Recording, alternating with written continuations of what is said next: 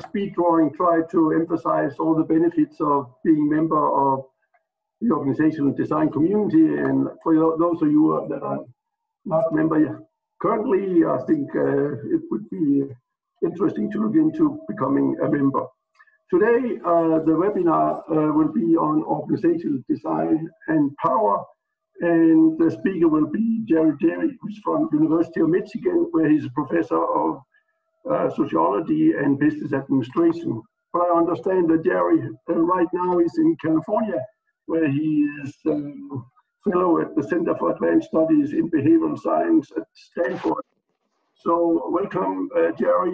Even it's very early in the morning, we look forward to your presentation. So the screen is yours. All right. Uh, th thank you so much, Børge. Uh, I do have to tell you that I did just renew my organization design community membership yesterday. And so I am now a, a, member in good standing. I encourage everyone else to do this. Uh, I can also tell you that if you don't, Phanish Puranam will contact you personally and say, "Where's your dues this year?" So he's uh, is very very good about about keeping track of that. Uh, I also have to say uh, it, the uh, paper that was distributed is with Aseem Sinha, who's a doctoral candidate at the University of Michigan. He's on the call today. I have to say, uh, any of the parts of the paper that you liked are, are attributable to Aseem, and, and any of the bad stuff, uh, that, that's because of me. Uh, it's coming out in a new journal called Organization Theory that's been launched by, uh, I think, EGOS, the same folks that publish organization studies. And this is a new journal that I think will be also of interest to, to members of the organization design community. So I'm going to be uh, talking about the, the topic of uh, design and power today. And I'm spending the year at the Center for Advanced Study in California at Stanford, uh, working on a book on corporate power in the 21st century. And the theme of this, uh, this book is really about how the nature of corporate power uh, looks very different in a 21st century corporation than a 20th century corporation, and that there's a kind of a mismatch between the tools that we use uh, to analyze and understand power for a Westinghouse or an Eastman Kodak compared to the kind of firms that we have today. And I think it has some important implications for, uh, for organization design. Uh, I do want to post uh, some uh, set of links here in the chat. So any of the crazy things that I say in the talk, uh, and you're wondering what's the documentation for that, uh, here's a list of articles that you can uh, click through to uh, if you're interested. I like to open with this lovely painting by Fernand Léger. I, I, use this as the, as the opening for most of my talks because I think it's quite a posit for the situation we're in now. It's called A Girl with Flower and, and it sort of is a metaphor for what I want to talk about today. You see that it's got a, uh, this uh, dense outline of a woman's face and she's got a necklace and a shawl and you can sort of see the top of her, her dress with this sort of pattern on it. And then it's got this strange looking flower that's sort of jagged looking. It's a very elaborate pattern.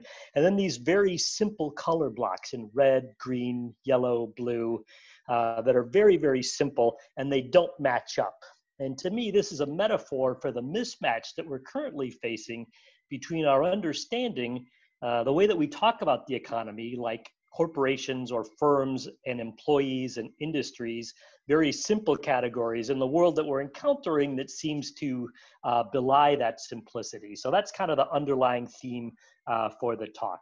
But I want to start. Um, we in the US, I don't know if you noticed this, but uh, we recently had an election. Um, not sure how it turned out. I haven't really been paying very close attention, but apparently it was a big deal here. Um, and there's been this diagnosis shared by many of us uh, on the left and elsewhere that unbridled corporate power is corrupting American democracy, that corporations have just too much control in democracy these days. Uh, they're expanding and consolidating in ways that concentrate economic and political power. Uh, corporate money is corrupting politics to favor the rich. Ineffective state regulation is creating a small class of enormously wealthy and economically powerful men whose chief object is to hold and increase their power. And last, economic inequality is reaching unprecedented and unsustainable levels that belie our ideals about uh, equality and opportunity.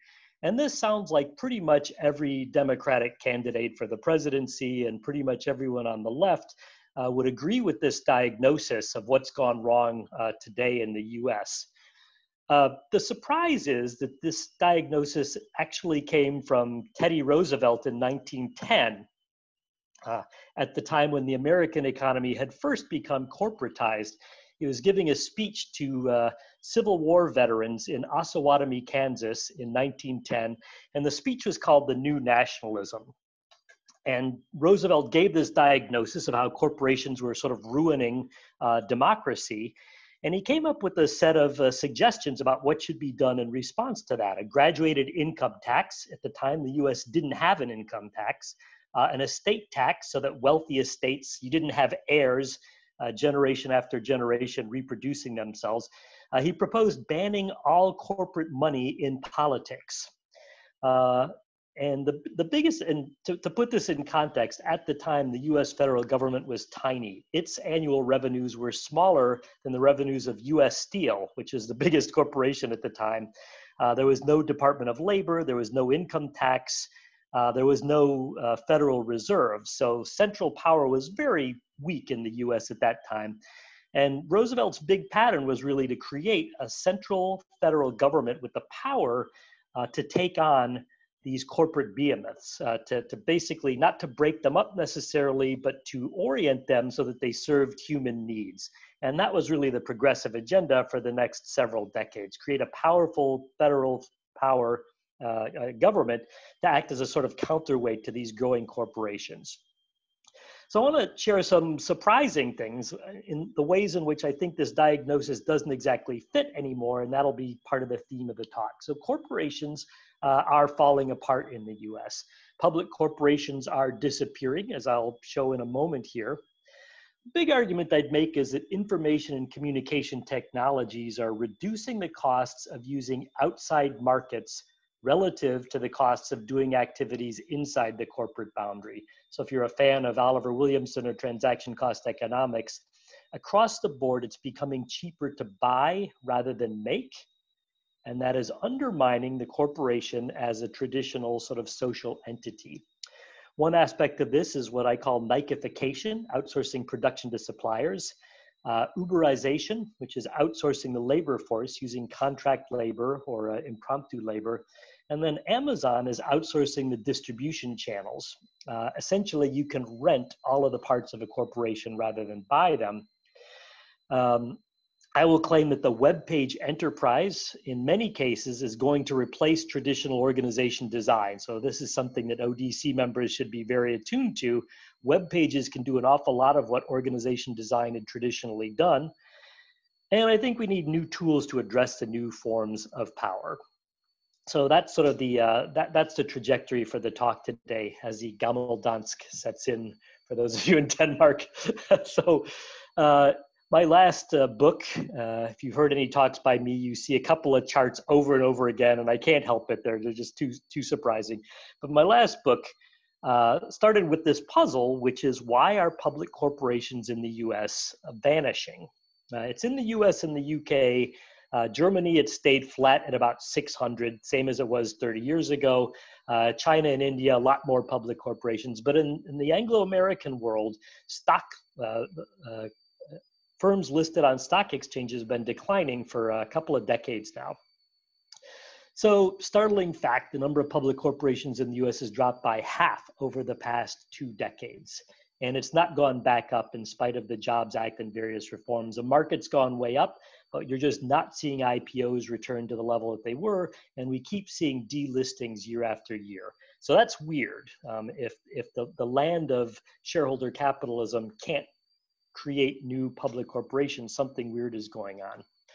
And a, a, simple diagnosis is well, we all know that's because superstar companies are buying up their competitors and consolidating industries, and every industry is going to have two or three big oligopolies that dominated. That's not actually what's happening. Uh, one of the papers that I posted digs into every company listed on the market since 2000, all of the entries and exits, breaks them down by industry and, and reason why they were uh, reason why they left the markets.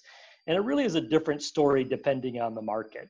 Um, for computer programming, for software, it's really failures at the dot com bust. Banking, it's consolidation and failure in 2008 Uh, electronics, it's offshoring. Uh, when China joined the WTO, that was kind of the end of American electronics manufacturing. And then big pharma, there's a lot of sort of churn with, with biotech, but it's not a simple story of centrifugal force, centripetal force, where industries keep getting consolidated. So don't, don't buy that story too uncritically. Uh, to give a feel for that, this is the list of the uh, Dow Jones blue chip companies, the 30 industrials in 1988 when, uh, when I was in graduate school. These were the commanding heights of corporate America. These were the dominant, powerful firms that people looked up to and hoped to get a job at and then work their way up to be an executive vice president and, and required a Boca Raton or, or something like that. And so if you look at this list, um, these were this was like the football team in high school the popular kids that sort of dominated uh, the life of the american economy if you fast forward to today a large majority of them are gone from the index most of them have disappeared entirely uh, so anyone under 40 doesn't know what westinghouse uh, or or uh, Eastman Kodak or Bethlehem Steel or American Can. These are just names that mean nothing to them. And this is weird to me because when I was in graduate school, these were the powerhouses of American industry. And now it's kind of like going back to your 30th high school reunion and the football team, what's left of the football team comes in and they used to be like, you know, the flower of the school's manhood or whatever. And now sort of most of them are gone and some of them look like they're living in a halfway house and GE used to be the quarterback, but now it's just gotten out of rehab and it got kicked off the index. So we kind of got to this interesting place where the powerful companies seem to have vanished. And honestly, five years ago, if you'd asked me what's the one firm that will last forever, uh, I would have said Exxon. Um, but Exxon was exiled from the the uh, Dow Jones uh, a few weeks ago. Uh, they and if you look at their stock price, uh, they're kind of a disaster for the last several years. So this is interesting. It's not that big companies just grow more powerful and dominate. It's a different set of companies that have become powerful. So if you're a fan of a Schumpeter, you look at this and say, "Yay, creative destruction! The old guys are getting uh, getting tossed over, and they're being replaced by vibrant young companies full of good ideas that are uh, that are cropping up to, to replace those old guys." But that's not really true too. Uh, if you look at the trends in initial public offerings um, that's also been kind of a disaster for the few years. We there were a lot of IPOs in the 1990s, and probably even more dissertations about IPOs in the 1990s. But like uh, Furbies or Parachute Pants uh, or Clinton administrations, IPOs are not coming back. Um, if you look over the last five years, there's about as many IPOs in the last five years as there were in 1996 alone. So it's really uh, it's kind of disappeared uh, as an art form. There are SPACs, there are other ways of going public, um, but this is uh, this is kind of a, an interesting thing. So why do we have public corporations in the first place? If you're like me, uh, on day one of your course on, uh, on organization theory, you make the students read The Nature of the Firm by Coase, where he lays out the transaction cost explanation of why do we design organizations at all? Why do these things exist? And he gives a transaction cost explanation, of course, um, but he puts it really nicely, uh, elegantly in, in this one early sentence. The main reason why it's profitable to establish a firm would seem to be that there's a cost of using the price mechanism.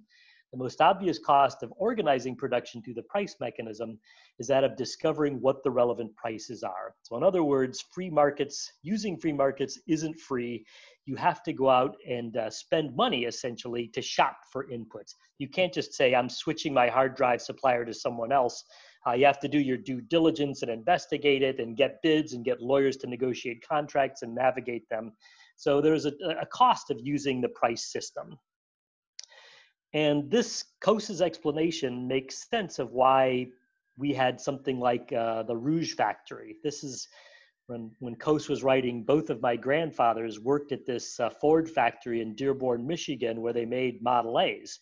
And you can see ships are bringing in coal and iron and wood and, and uh, rubber and, and sand in one end, and Model A's were rolling out the other end. It's the most vertically integrated factory the world had ever seen. Had over 100,000 people working there. They made their own steel, their own cement, Uh, Henry Ford owned uh, rubber plantations in Brazil and uh, oak fat oak forests in northern Michigan to buy all of the raw materials to make these cars. And Coase gave a rationale. Why would we want to have uh, a vertically integrated firm like that? But imagine a thought experiment if everybody carried with them a tiny supercomputer communicator that allowed them to look up the prices for everything in the world all day, every day, and they could negotiate contracts for inputs with strangers, track their performance in real time. What would happen if the transaction costs uh, for using the markets approached zero? And of course, we are now living through that thought experiment. Uh, and the answer is uh, Nikification. You would get pervasive outsourcing of the production of goods and services because you could easily find contractors for the inputs rather than having to make them uh, yourself. So I've written a lot about this. If you hear me give talks, you are, you are familiar with many of these examples.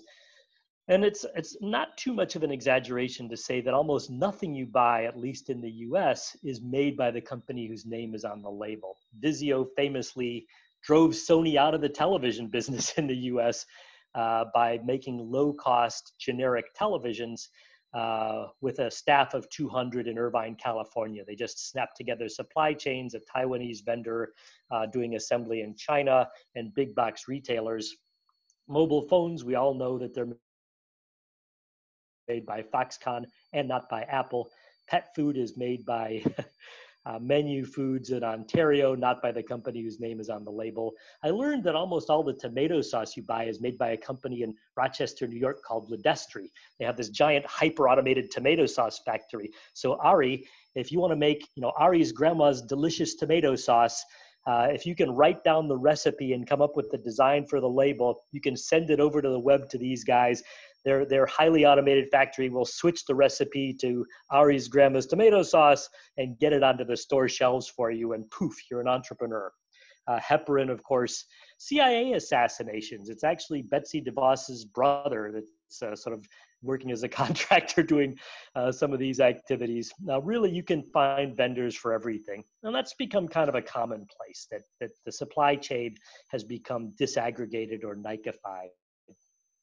Uh, that works for suppliers. Uh, how do we think about labor? And this was tricky because it's one thing to say I can buy hard drives and uh, and switch suppliers for hard drives or outsource the production of tomato sauce.